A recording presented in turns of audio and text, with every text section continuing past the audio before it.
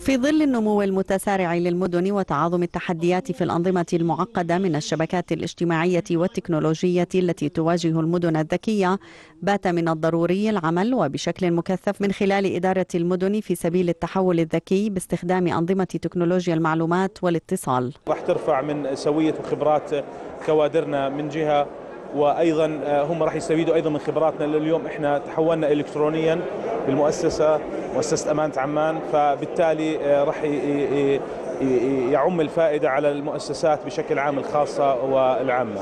كما بدأ العمل وبشكل جاد للمنظمات الدولية والقطاعين العام والخاص لإيجاد الحلول الأنجح للتعامل مع قضايا النقل والتي باتت المشكلة الأبرز والتحدي الأكبر للدول وخاصة الدول النامية في مواجهة مشكلة استخدام السيارات الخاصة. أمانة عمان هي جزء من مشروع اسمه Create Mobility مشروع أوروبي بيعتمد على التشبيك أيضا بيننا وبين الأوروبيين والدول المتقدمة في مجال التحرك في المدينة. بدهم ينقلوا لنا معرفة بدهم يفرجونا إيش الفرص المتاحة للأردن.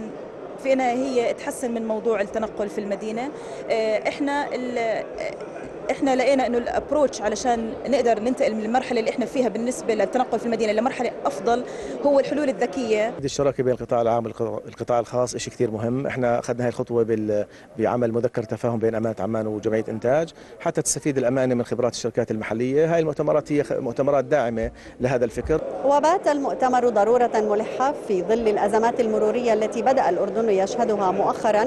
مع ازدياد أعداد السكان والهجرات المتلاحقة على الأردن. حيث تشير الإحصائيات الأخيرة إلى أن عدد المركبات في الأردن تجاوز الستين بالمئة من عدد السائقين في حين تجاوز عدد رخص القيادة التي يتم إصدارها يوميا الخمسمائة رخصة كما سجل الأردن ازديادا كبيرا في عدد السكان خلال السنوات الخمس الأخيرة مع اندلاع الأزمة السورية الأمر الذي بات يخلق أزمات مرورية في الشوارع الأردنية. دام الكردي قناة الغد عمان.